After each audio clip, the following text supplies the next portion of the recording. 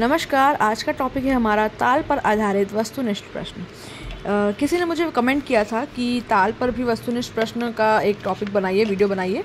तो आज मैं वही लेकर प्रस्तुत हुई हूँ। तो देखिए, एक से लेकर ये है हमारे कुछ सिक्सटी क्वेश्चंस है। तो चलिए कमेंट किया था आपने, इस वजह से मैं पूरे आज सिक्सटी के ही आंसर्स आपको बताती हूँ। डिस्कस करते हैं, चलिए चलिए शुरू करते हैं।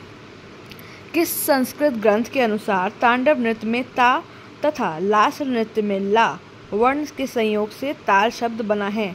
ये किस बुक में किस ग्रंथ में ये लिखा हुआ है? किस ग्रंथ में ऐसा वर्णन किया है कि ता से और तांडव का ता और ला से का ल से ताल शब्द बना है तो संगीतार्णव जो संगीत ग्रंथ है उसमें उससे यह पता चलता है उसमें यह लिखा है कि, कि ता और ल से तांडव और लास्य से हमारा ताल शब्द का निर्माण होता है।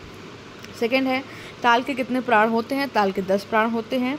क्रिया के कितने प्रकार हैं? क्रिया के दो प्रकार हैं। ताल के कितने खंड होते हैं? ताल के छः खंड होते हैं। ताल के छः खंड होते हैं। यति के कितने प्रकार हैं? यति के पाँच प्रकार हैं। ताल में कितने ग्रह होते हैं? ताल में चार ग्रह होते हैं। लय के कितने प्रकार हैं? लय के तीन प्रकार हैं। कौन कौन से? विलंबित लय, द्रुत लय और मध्य लय। गोपुष तथा पिपिलिका क्या है? तो गो गोपुष तथा पिपीलिका यति है। सप्त ऋषि ताल में कितनी मात्राएँ होती हैं? सप्त ऋषि ताल में सत्रह मात्राएँ होती हैं। पट ताल में कितनी मात्राएँ होती हैं? पट ताल में चार मात्राएँ होती हैं। महेश ताल में कितनी मात्राएँ होती हैं? महेश ताल में नौ मात्राएँ होती हैं। और जयमठ कितनी मात्रा की ताल है? जयमठ सोलह मात्रा की ताल है। ताल की कितनी जातियाँ होती हैं? ताल की पाँच जातियाँ होती हैं। सेवन बाई फोर की लयकारी क्या कहलाती है? सेवन बाई फोर की लयकारी कहलाती है बियाड़ की लयकारी।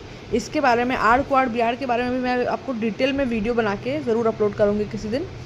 चंपक ताल में कितनी मात्राएँ होती हैं? चंपक ताल में चौदह मात्राएँ होती हैं। आड़ लयकारी पहचाने।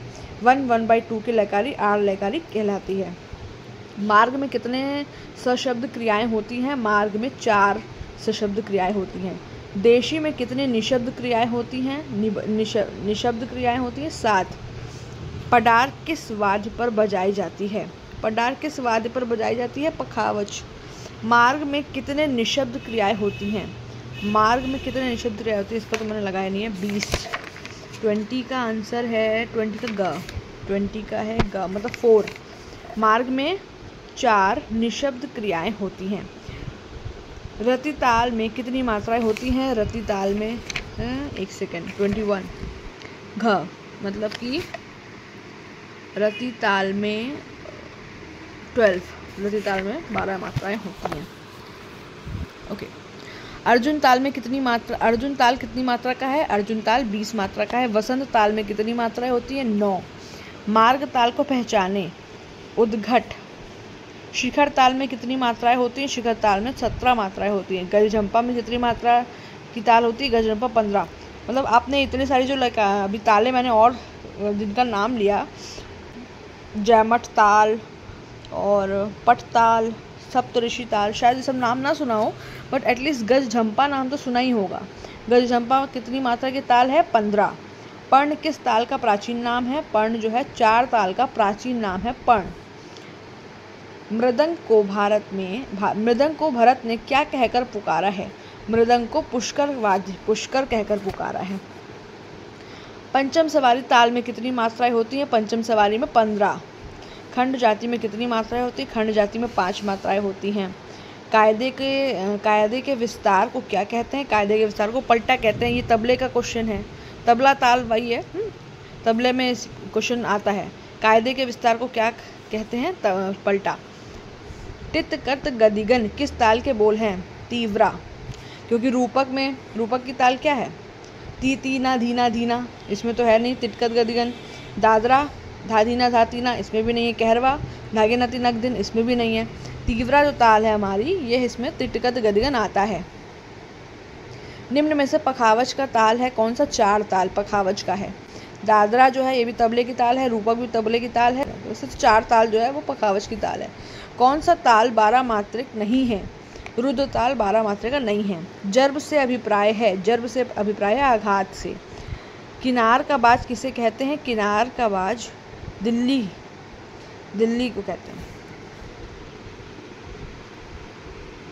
हम्म, नाधीधीना के जादू जादूगर कौन थे? अनोखे लाल। तबले पर बजाए जाने वाले अक्षरों को क्या कहते हैं? पटाक्षर। निम्न में से किस ताल का पहला विभाग पाँच मात्रा का है? धमार। धमार का पहला विभाग पाँच मात्रा का है। क, धी, ट धी, ट, धा। ऐसे लगाता ना मतलब क, धी, ट धी, ट। आ गया पाँच मात्रा का।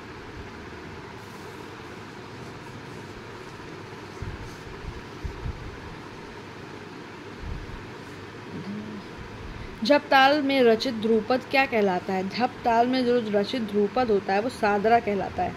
कौन सा सात मात्रक ताल नहीं है? धुमाली, रूपक भी सात मात्र का है, तीवरा भी सात मात्र का है पश्तो भी सात मात्र का ताल है। तीना धी धीना, किस ताल के खंड है? रूपक का खंड है नहीं, धुमाली का नहीं है, रूपक फिर आ गया। तो झपताल के खंड है। धीना धी धीना, तीना धी धीना, ठीक है? समान विभागों वाली जोड़ी पहचाने तीन ताल और तिलवाड़ा। ये दोनों सेम है। रूपक के साथ होती है, तीन ताल की सोलह मात्रा होती है। ये सेम नहीं है। सूल ताल, तीन ताल, चार ताल झपताल कोई सेम नहीं है। सिर्फ़ तीन ताल और तिलवाड़ा। लोक संगीत में किस ताल का अधिक प्रयोग किया जाता है? लोक संगीत में कहरवा का अधिक प्रयोग किया जाता है। और यह ब्रह्म ताल में कितनी बार खाली होती है? चार बार। सरस्वती ताल में कितनी मात्रा होती है? अट्ठारह गणेश ताल में कितने विभाग होते हैं? दस। दोस्त ताल में कितने विभाग होते हैं? चार, डेढ़ गुना। वन वन बाई टू से अभिप्राय किस लयकारी से है? आड़ की लयकारी से वन वन बाई टू का अभिप्राय है। सवा वन वन बाई फोर गुण को कौन सी लयकारी कहा जाता है? आड़ कुआर, ठाव्य। कुआड़ कहा जाता है। पौने दो गुण वन थ्री बाई फोर को अन्य किस नाम से पुकारा जाता है? बियाड़ की लयकारी से। चाचर को अन्य किस नाम से जाना जाता है? चाचर को दीपचंदी दीपचंदी नाम से जाना जाता है। ठीक है दीपचंदी का ही प्राचीन नाम चाचर था। निम्न में से अठारह मात्रिक युगल पहचाने। मत ल, मत ताल और लक्ष्मी ताल अठारह मात्रिक की है। कहरवा ताल की मात्राएँ ताली खाली एवं विभाग। निम्न में से किस ताल के समक्ष है? कव्वाली। तीव्रा ताल में कितने विभाग होते हैं? तीवरा में तीन विभाग होते हैं। लक्ष्मी ताल में खाली कितनी बार आता है? तीन बार आता है। और मत ताल में कितने विभाग होते हैं? नौ। निम्न में से किस ताल में ध्रुपद गाया जाता है? सभी में मतलब तीवरा, सूल ताल और रुद्र ताल तीनों में ही रूपक ध्रुपद गाया जाता है। तबले के बोलों या वर्णों का उलट पलट कर करने की विधि को क्या कहते हैं? पलटा कहते हैं। उलट पलट कर बजाने को पलटा कहते हैं। विश्व विश्व का प्राचीनतम तालवाद किसे माना जाता है? डमरू को। डमरू को ताल का प्राचीनतम वाद माना जाता है क्योंकि डमरू शिव जी बजाते थे। आई होप आपको ये सेशन पसंद आया होगा। ये देखिए, तबले का हमारा ये, तबले का फिगर है और ये मृदंग मृदंग का फिगर है। आप इसका स्क्रीनशॉट भी ले सकते हैं। ओके आई होप आपको ये वीडियो बहुत अच्छा लगा होगा यूज़फुल होगा। Thank you for watching